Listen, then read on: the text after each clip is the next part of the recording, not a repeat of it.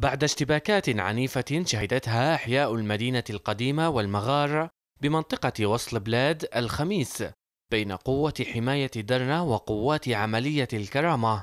يعود الهدوء الحذر إلى المنطقة صباح الجمعة.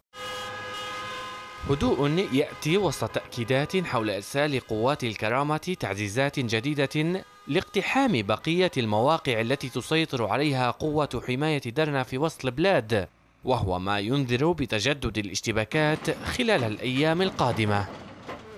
وفي هذا الصدد أعلنت غرفة عمليات المختار التي تقود المواجهات في درنا التي عين مؤخرا سالم رحيل آمرا لها ما قالت إنه الترتيبات النهائية للسيطرة على آخر المواقع التي تتحصن فيها قوة حماية درنا بأحياء المغار والمدينة القديمة وسط بلاد ومع تواصل الاشتباكات تؤكد الأنباء القادمة من هناك قيام مسلحين موالين لقوات حفتر بحرق عشرات المنازل التي تعود ملكيتها لمقاتلي قوة حماية درنا وعدد من الناشطين المعارضين لعملية الكرامة.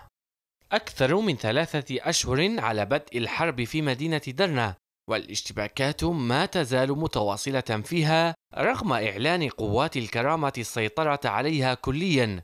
في ظل تقارير حقوقية تتحدث عن أوضاع إنسانية وصفت بالمخيفة فضلا عن استمرار نزوح عشرات العائلات إلى خارج المدينة.